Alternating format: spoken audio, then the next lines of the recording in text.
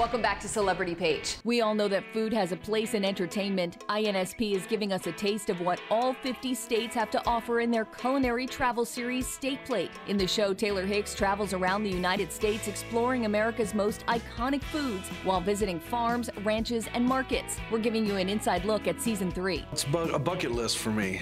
Um, I've been able to travel each state and try each food.